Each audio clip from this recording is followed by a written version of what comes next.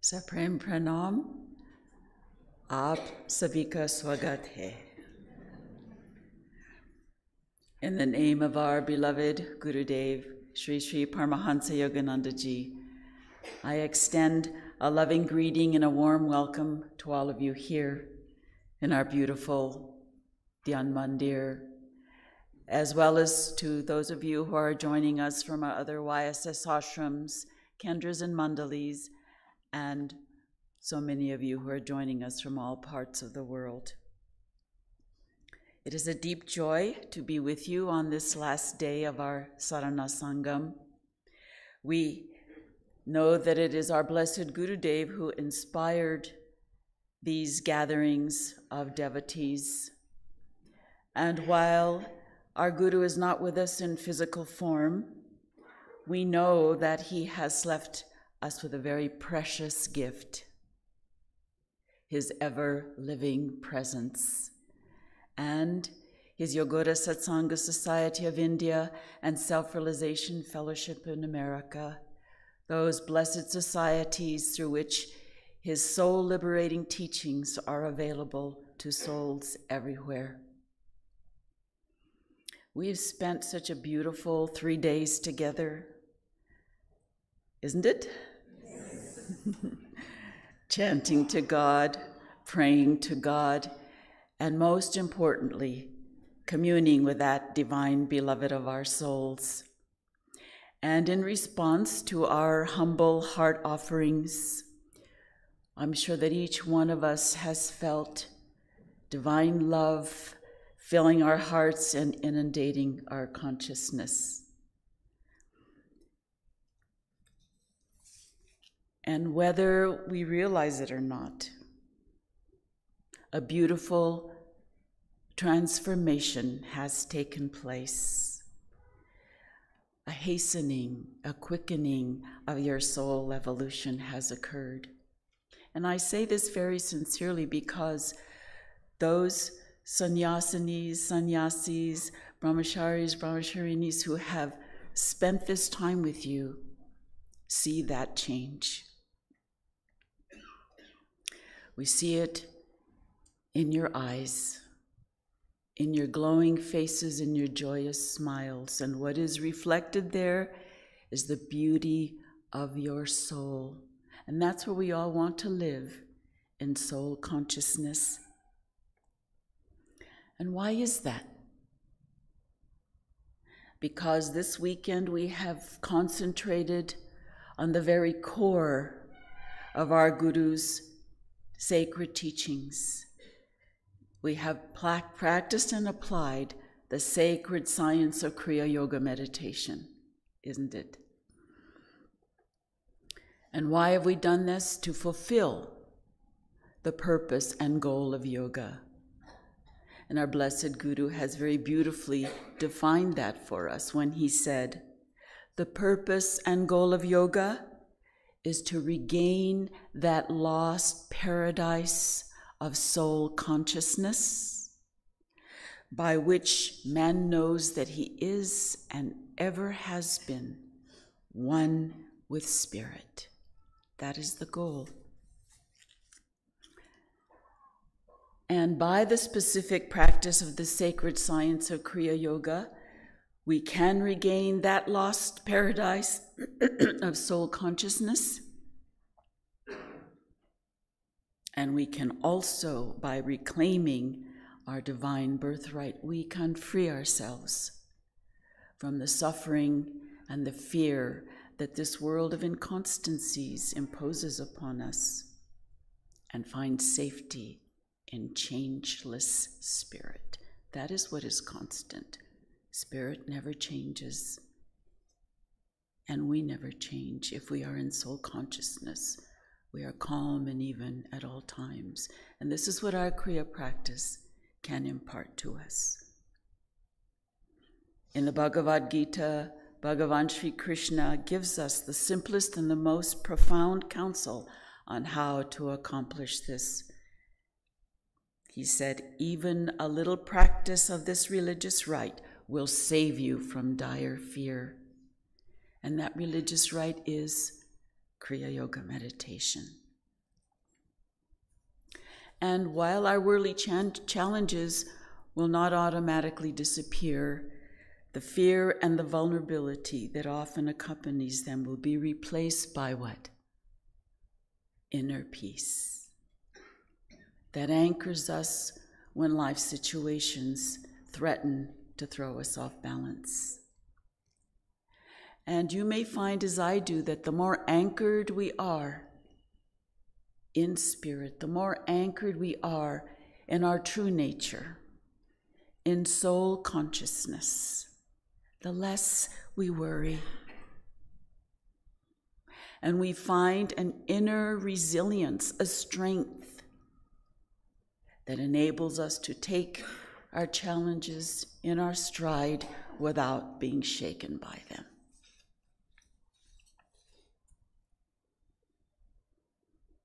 All right, so now let's step back momentarily and view this world that we live in because our great gurus have told us that as the world passes into these ascending ages, we are in Dwapara Yuga, it's an ascending age, that there is a greater awakening of spiritual consciousness, of longing for truth, for understanding.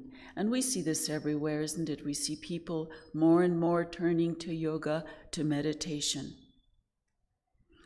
And to serve the soul need of awakening souls, the divine deemed it was time for a line of God realized gurus to incarnate for the purpose of helping those souls and helping humanity find the answers.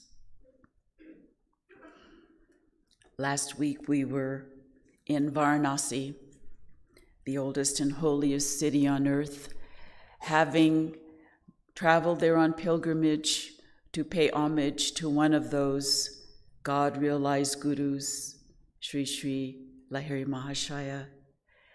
And we know that he is the great harbinger of Kriya Yoga, who lived there on Madhupuran Lane until his passing, his Mahasamadhi in 1864. I'm going to read to you from my travel diary. Though we were unable to enter the sacred shrine, we lit candles and flowers at the foot of the doorway and reverently offered our pranam and our prayers. Our group spent time there in silent meditation, immersed in the Master's overpowering presence. And sitting there, I imagined that through this very doorway, many illustrious saints, sadhus, and thousands of humble devotees flocked to the feet of the Master to receive initiation into the sacred science. And we know that in 1861, in a remote corner of this holy city, the celestial river of Kriya Yoga began to flow into the dust, dusty haunts of men. So, to initiate and impart the teachings of Kriya Yoga was the mission given to Lahiri by the great immortal Mahavatar Babaji when he initiated him.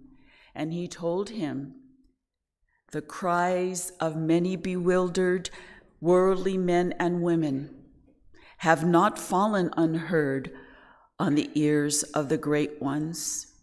You have been chosen to bring spiritual solace through Kriya Yoga to numerous earnest seekers.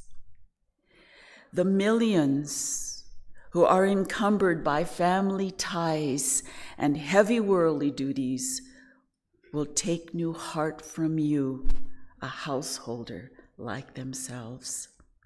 You should guide them to understand that the highest yogic attainments are not barred to the family man. They are not barred to the family person, householder devotee. And now listen to what Gurudev tells us. He says, My Guru and Param Gurus Swami Sri Yukteswar, Lahiri Mahashaya, and Mahavatar Babaji are the rishis of this present age. Masters who themselves are God realized living scriptures. They have bequeathed to the world, along with a long lost scientific technique of Kriya Yoga, a new revelation of the Holy Bhagavad Gita, relevant primarily to the science of yoga and to Kriya Yoga in particular. What a declaration. And even though Guruji did not mention his name, we know that he too is one of those great rishis of this present age. Think about that. And we are witnesses to this. And we have been called to follow these God realized saints, avatars, living scriptures. So let us be assured by this that divine assistance is always with us. And let us be comforted that it is possible to live in this world with a consciousness that no matter what may occur in life, we are ever under the watchful gaze of these divine ones. We are protected. And this is the mindset that Guru Dev wants us all to hold on to, no matter what we face. During a time of turmoil in the world, during Guruji's lifetime, a time similar to this time, Guruji said these words to give us the right perspective. He said, This world will always have turmoil and trouble. What are you worried about? Go to the shelter of God, where the masters have gone, from whence they are watching and helping the world.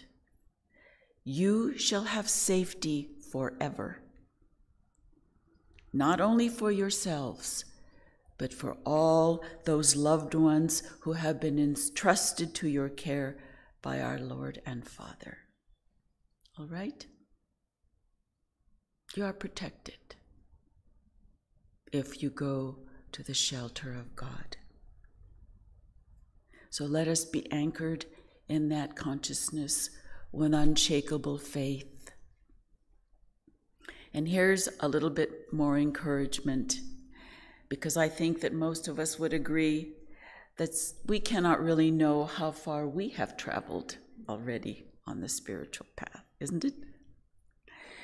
And I remember on one occasion, when our beloved Sri Mrinalini Mataji was reading to us from Guruji's lecture on the higher ages, and he was especially describing the highest age of Satya Yuga. And we know that in his book, The Holy Science, Swami Sri Yukteswarji describes these ages, these world cycles in the evolution of humankind. And Guruji was saying that Satya Yuga is the golden age of perfection, of truth, and enlightenment when the people of that society understood that spiritual freedom was the purpose of life. And he said that in Satya Yuga, virtue reigns supreme, and the intelligence and the spiritual perception of those people was so highly evolved that they could easily comprehend all, including the mysteries of spirit. Now, I want you to reflect on this for a moment because when we speak about Kriya Yoga later, this will be relevant. But I remember Mrinalini Ma once saying to me when I was talking with her, she said, yes, their intelligence was very keen and their spiritual perception was wide awake. And as I listened to her description of these higher ages, the thought occurred to me hmm, somehow they seemed familiar to me. So the next day I asked Mrinalini Ma, Do you think that perhaps some of us might have lived in those higher ages? And she looked at me in almost disbelief and she said, My dear, We have been round and round and round many times, shaking her head like this. And I said, Oh no, and here we are in this slow age again. And she said, No, no. Meaning I should not think that way and I should not judge myself spiritually. We cannot measure. And then she continued, she said, We have been given a golden opportunity in this life of having been drawn again to Guruji and to his Kriya Yoga teachings that come from those higher ages. We have received so much, isn't it? Let us be grateful and make the most of what we've been given in this lifetime. And I remember once in a satsang given by Swami Vishwanandaji, you know, we know that saying, this is a red letter day, which means it's a very momentous, very important, significant event. Well, this life is a red letter life. We have to make the most of it because it is so significant for us. And then she went on to say, besides, we do not know how far we've already traveled on the spiritual path. And indeed, we have been given so much, a rare gift from God in response to our prayers. A true guru who lovingly helps us awaken that beautiful soul divinity hidden within our heart and consciousness, and he helps us bring that to the fore and who has given us the sacred science of God communion, Kriya Yoga. And about not knowing how far we've already traveled on the spiritual path, I'd like to share with you the wisdom of Swami Anandamoy whom you know received direct training from Guruji. Because again, his words are very encouraging. He said, The mere fact that you were drawn to Kriya Yoga path, to the Kriya Yoga path, is evidence that you've been on your spiritual journey for more than just this one lifetime. Guruji said, You do not begin your search for God with Kriya Yoga, you end with Kriya Yoga. And he said, Our Guru also express that we can rise above the age in which we were born, and that you will also find those in this age who are living ahead of their time. So let me pause for a moment so we can take this in more fully, because here we are in Dwapara Yuga, and yet we have been given the teachings of the higher ages of Satya Yuga. And let's also reflect on this for a moment because perhaps some of you may think, well, this is a bit too lofty to apply to me personally. so let me share another story that Swami Anandamoy shared because it illustrates how we should never judge ourselves spiritually or try to measure our spiritual development. He said there was a man, a householder with a wife and children. He was not American. He was a really good devotee, a group leader who helped bring devotees on the path, and so on. And he had had several counseling sessions with Guruji.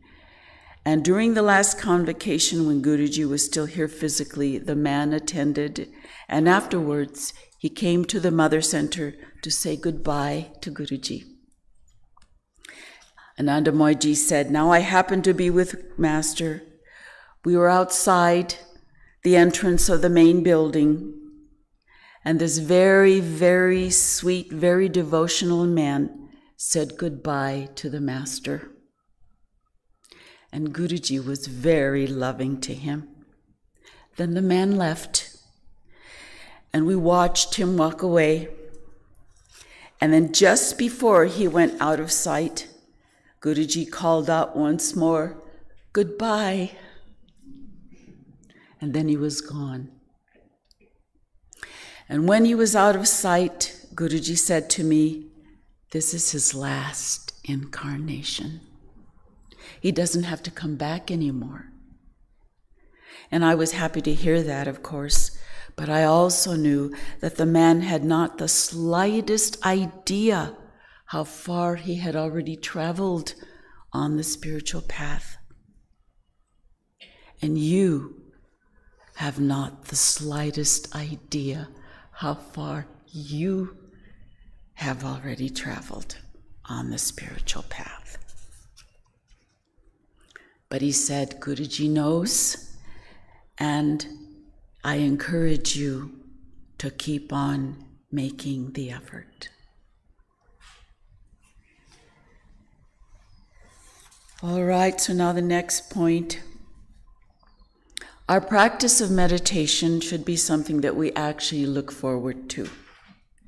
And though the practice of Kriya Yoga is a devotional practice, it is also a unique and sacred science that has been given to us to hasten our soul's evolution. And this is why our gurus introduced this into the world at this time. And through its practice, it will enable us to transform our lives wherein we will discover a whole new way of existence, a whole new way of being. And I'm sure that many of you can testify to the fact that when you meditate, when you practice Kriya, you feel deep peace. I see you shaking your heads. You feel happiness and joy, not only right after meditation, but for some time afterwards, yes? You feel a joy at times bubbling up within, and you don't know where that happiness comes from. All right, so now, if you will bear with me, I'm going to go into a little bit of the science of Kriya Yoga. Because this technique is unique in two respects. Through its practice, we train the mind to withdraw the consciousness and mind to go within. And we direct it into the spine and brain to reunite our soul with all pervading spirit. And I say reunite because when the soul takes birth, Guruji tells us that out of the seven chakras in the astral spine, a life force descends to create the body and to feed the cells and every little part of our infant body. But when this creative force descends, our soul is swept downward, away from the throne of the thousand petal lotus at the top of the head in the brain area, the crown chakra. It's swept away from our oneness with spirit.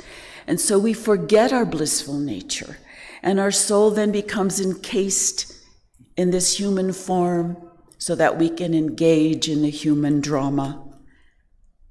And then we experience delusion, suffering, and the dualities of Maya finding no way out, isn't it? Simply put, Kriya Yoga is the way out. It is the doorway to soul consciousness, enabling us to reascend and reunite with spirit.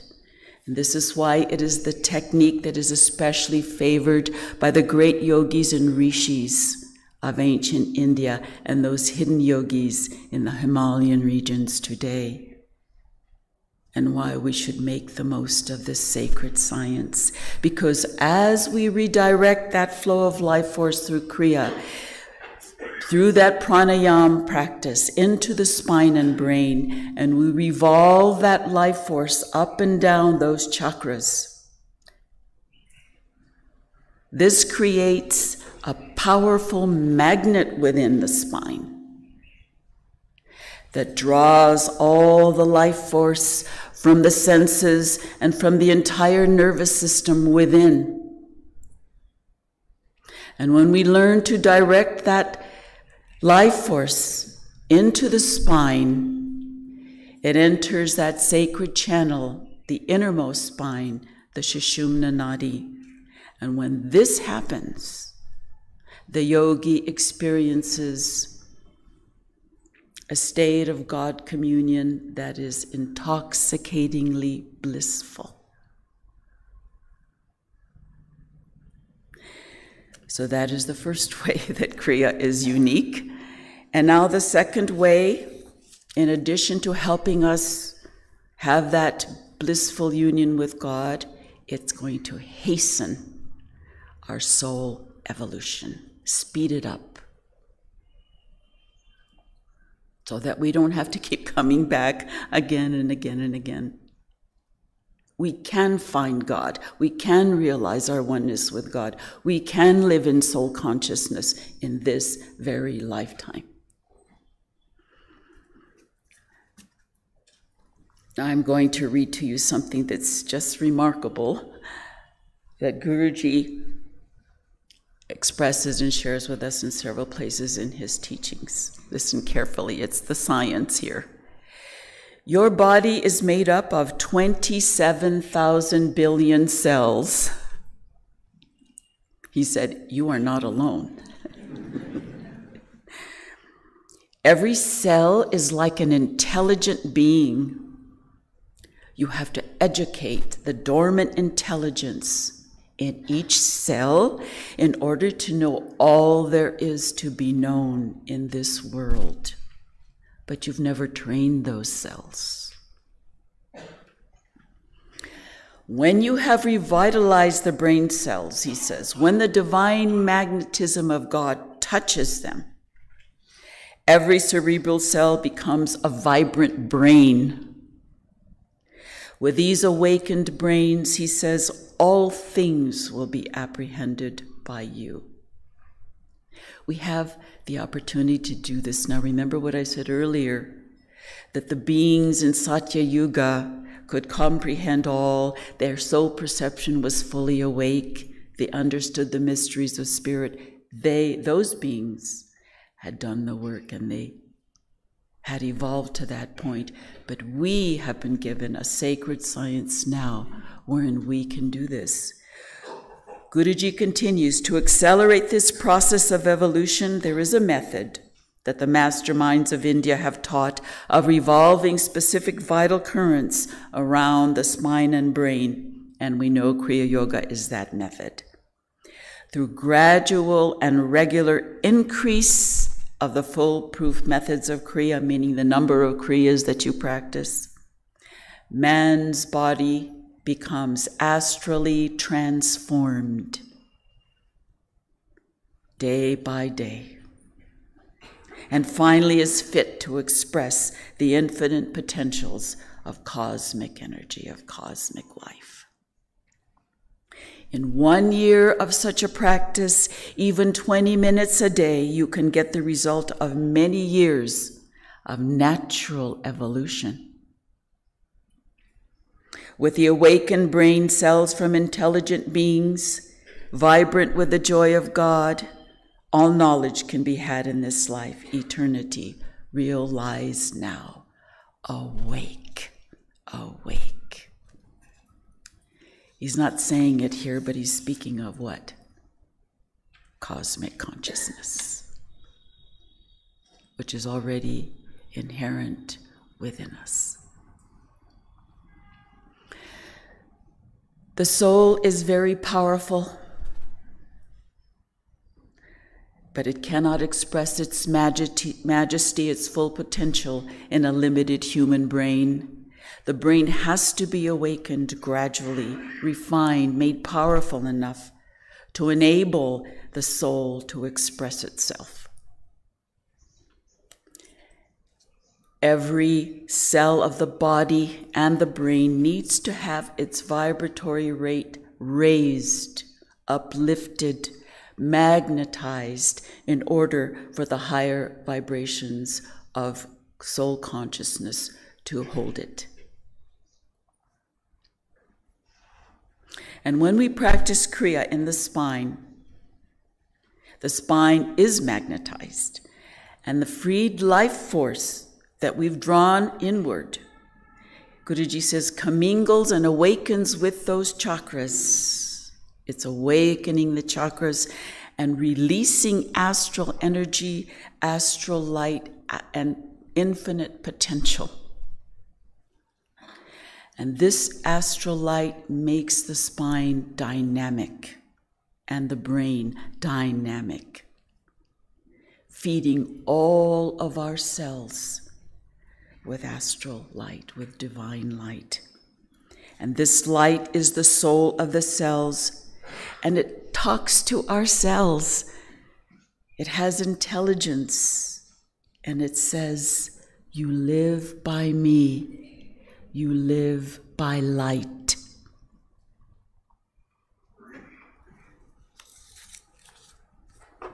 In the golden ages, mankind lives primarily by this light. And for us, through our Kriya Yoga practice, through our communion with God, we are learning to awaken that soul light within us and allow it to guide us intuitively, guide us, so that we make the right decisions. And by living a life of dharmic righteousness, making wise choices that are in alignment with God's universal principles, we become carriers of that light. That is our responsibility as children of God, as disciples of these great masters, so that wherever we go and whatever we do, we spread that light to all who cross our path and whenever we pray for others. So that is the science of it. I hope you were able to follow. Next point is that Kriya Yoga meditation is not only for God communion, but is also for self transformation. We must consciously attempt to purify unwanted behaviors so that they do not stand in the way of our realization of God. And there are four essential practices that will support this personal transformation. If practiced regularly with continuity, we will have success. The first is regularity and perseverance in yoga meditation, and Patanjali refers to this as abhyasa. By regularity and continuity of going within, we gain the perception of our soul as a joyous, loving, creative being because we reach that part of our nature that is unblemished, that is pure, that is peaceful. And we can establish ourselves in the tranquility of the soul. So, perseverance in practice every day.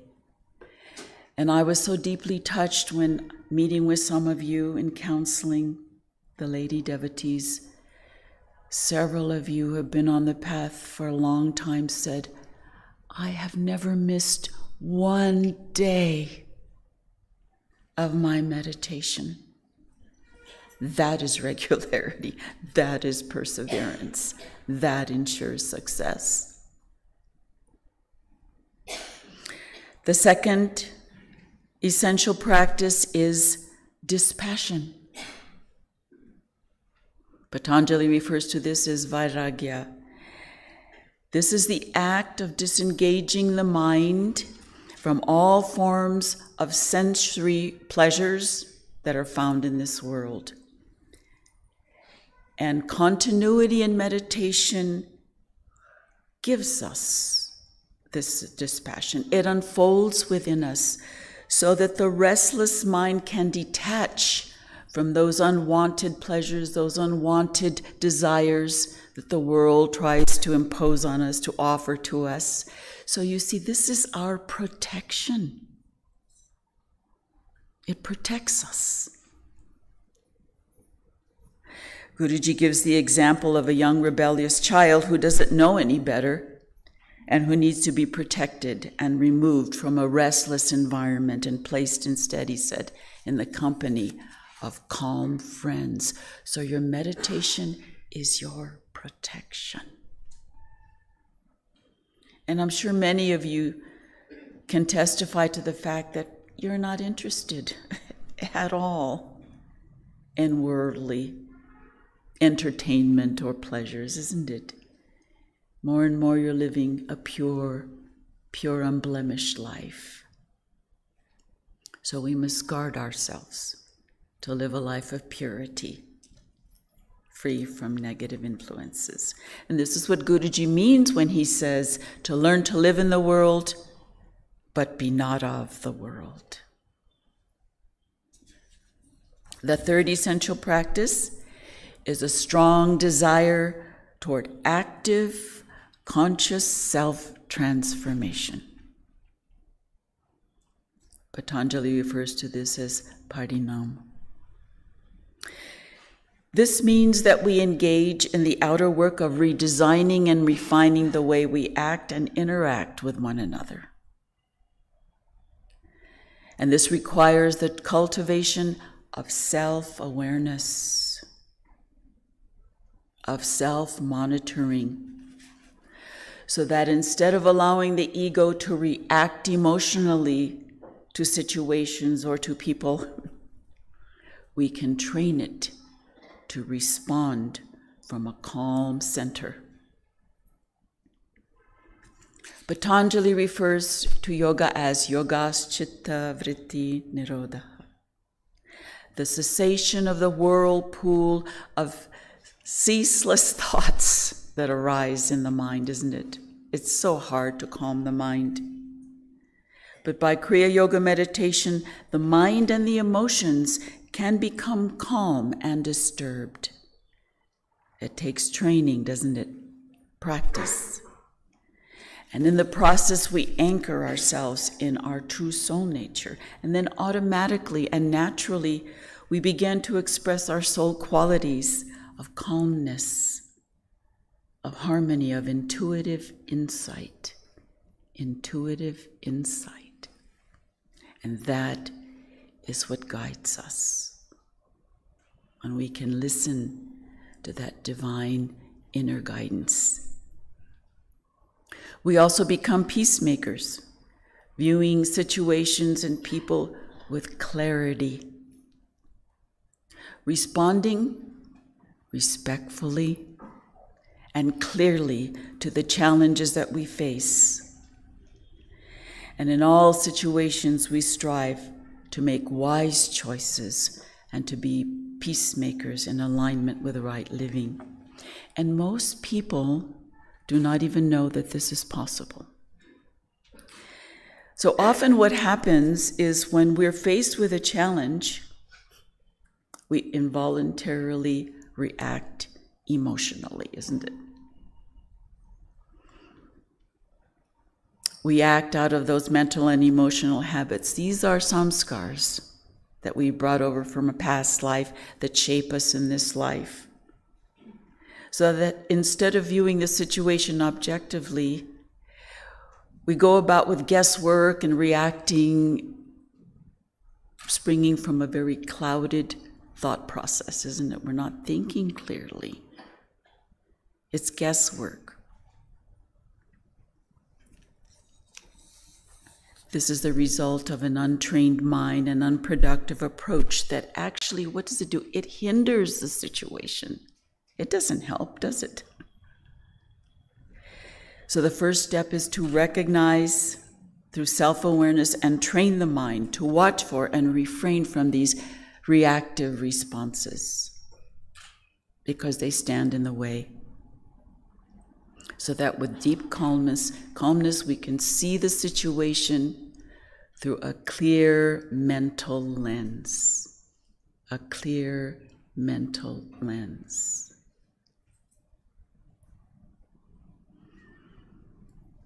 And the deeper our communion with God, the more we'll be able to do this. And the more we do this, the more we mature spiritually. We are maturing. We are being anchored in soul consciousness. And this maturity, sometimes we think, well, how will I know if I'm maturing? It will show in your thoughts, in your feelings, in your actions, and in your interactions with others. We are at peace within. We're much more kind, tolerant, harmonious with others. We become a person of moral principles, a deeply spiritual person. So it's good to ask ourselves how deeply am I committed to this self awareness and self restraint? How deeply am I committed to expressing the supreme goodness of my soul in my interactions with others? The answer will be revealed in our behavior.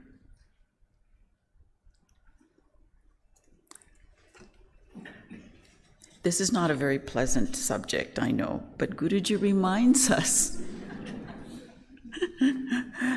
Remember, you are sent on earth to destroy the bad tendencies that you brought over from previous lives. That's the work. And to avoid creating any more in your present incarnation so that you may find God. All right, now all those samskars, all those memory grooves are recorded in the brain. And these unwanted habits rule our life and block our unfoldment. But the practice of re- Kriya Yoga re architects our entire neurology. we systematically cleanse those limiting, undesirable tendencies. Guruji says every time you meditate deeply on God, beneficial changes take place in the patterns of your brain. When you practice the, the self realization techniques of meditation, especially Kriya Yoga, you will actually see the light of God baptizing you. If you can see God as light, immediately that light changes your brain cells. But even if you do not see the light, those changes are still taking place.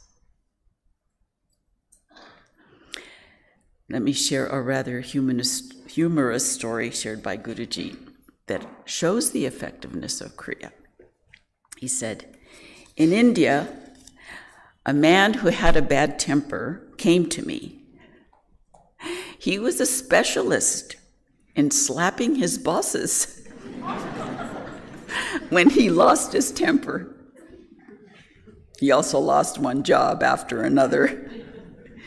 He would become so uncontrollably irate that he would throw at whoever bothered him anything that was handy. He asked me for help. I told him, the next time you get angry, count to 100 before you act. He tried it, but came back to me and said, I get angrier when I do that. While I'm counting, I'm blind with rage for having to wait so long.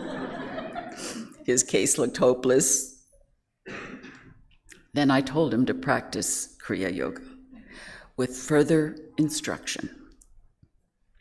After practicing your Kriya, think that the divine light is going into your brain, soothing it, calming your nerves, calming your emotions, wiping away all anger. I'm going to repeat that. After practicing your Kriya, think that the divine light is going into your brain, soothing it, calming your nerves, calming your emotions, wiping away all anger. One day, your temper tantrums will be gone. Not long after that, he came to me, and this time he said, I am free from the habit of anger. I am so thankful. This is Guruji's nature. He said, I decided to test him. I arranged for some boys to pick a quarrel with him. I hid myself in the park along the route where he used to pass regularly so that I could observe. The boys tried again and again to goad him into a fight, but he wouldn't respond. He kept his calmness. How beautiful. Through his practice of Kriya Yoga, he became established in that beautiful soul quality of calmness, and he was no longer the same. And when God's transforming touch is upon us, we will no longer be the same. We will no longer live and behave as an ordinary mortal, but as a child of God. A new consciousness will begin to emerge, and we will continue to grow spiritually. And I've talked with many of you, and you've all testified in one way or another that the more anchored you are in that inner calmness, the less you are bothered by outer situations and the less reactive you are. Because you've raised the threshold from ordinary human reactions to soul consciousness, and you are centered in that calmness. So you're no longer disturbed. So, the practice of Kriya is the greatest gift that we can give to ourselves. And in addition, we have this beautiful promise from Guruji. He said, Those who have Kriya have the great ones with them. Those who have Kriya have the great ones with them. He said, None of you shall miss finding God who will seek him earnestly, in spite of troubles, no matter whether I am here or away. I am your mountain of protection, guarding you from all storms. When the mountain will be removed, there will still be storms, but you must be strong enough to stand against them. Guru will be with you if you practice Kriya. Keep in tune that I may take you to Him who is my Father and your Father. That attunement comes through this last essential practice devotion and surrender to God and to his spokesperson, the Guru, Ishvara Pranidhana. The Guru is that greatest gift that God has given to us. The Lord says, My child, recognize me in my spokesperson, my representative, the Guru. And as we surrender ourselves with childlike innocence, with purity, with full faith, following his instructions lamb like, we are assured that that relationship with the Guru is inseverable, it is unbreakable, and he remind, remains aware of us at all times. He said, I go through your soul. I go through your life. I know what you are thinking. That's how personal it is. So close, no distance, with us always. And year after year, as we experience how He supports us, how He's there to help us in every way, how He protects us, and how He imparts to us a portion of His own divine consciousness while removing our karma from us, so much He takes on our faith and our surrender to Him deepen.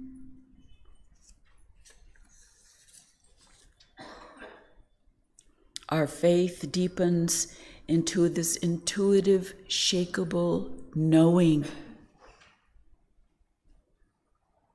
that He's ready to intervene for us ever and always, both in our meditation as well as in our daily activities. So we must have faith and surrender to His grace. Guru Kripa Hi Kevala. Yes. The Guru's grace is our salvation. We need his grace always. Sri Gyanamataji, who was one of Guruji's most advanced disciples, perceived the Guru's grace, his help, and she often expressed her sincere gratitude to him, writing to him, My blessed Master, Yesterday morning, when it was time for me to meditate, my mind was full of sad thoughts. I struggled, but it was impossible for me to drive them out. They mastered me. Then came your beautiful, powerful vibrations. They took firm hold of my being, and instantly I was free. I had that nameless joy, that joy without any because, and it stayed with me all day. Have you experienced something similar? Yes. And she would often express such exquisite devotion to the Guru. She wrote to him on one occasion Close your eyes as I read this. Take it in. She said, Lord, bless me again with your golden touch before you leave. Touch me with your divine fire, taken from the altar of your meditation, that the smoldering embers of my devotion may burst into flames for you are the vehicle of God to me. You are the vehicle of God to me. Without your blessing, I cannot succeed. With it, I cannot fail. Do not refuse my prayer demand. Do not refuse my prayer demand.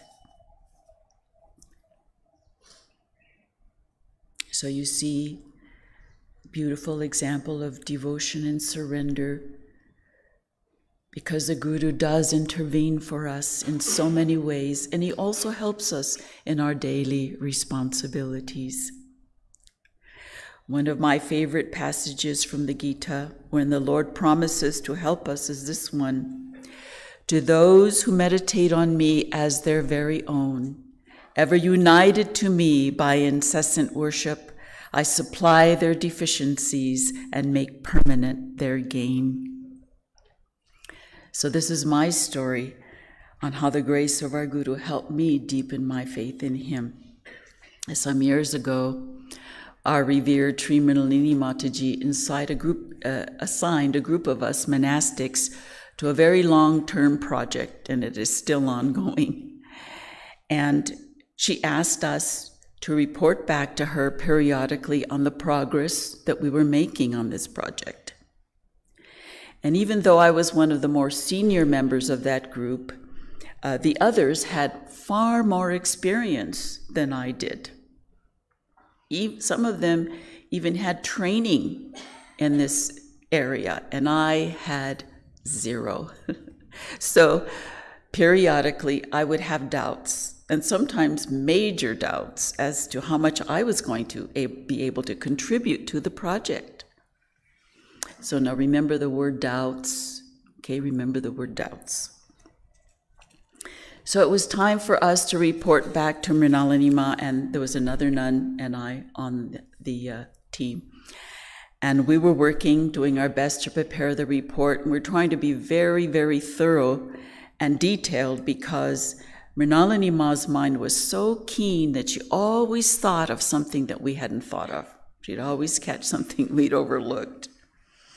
So we naturally felt a little bit in need of God and Guru's help. And so I shared this promise with her. Lord Krishna's promise to those who meditate on me as their very own, ever united to me to me by incessant worship, I supply their deficiencies and make permanent their gain. And she said, Oh, that's perfect. Let's pray that. So we made it our mantra, but we shortened it. Oh Lord, please supply our deficiencies. Please supply our deficiencies. So the day came for us to report back to Mrinalini Ma, and thankfully everything went everything went very well. But afterwards, Mrinalini Ma spoke to us very lovingly and very encouragingly, and this is what she said. Always remember Whenever you have doubts or question the direction in which you should go, stay in tune with God and Guru, and you will see they will supply your deficiencies, as Lord Krishna promised.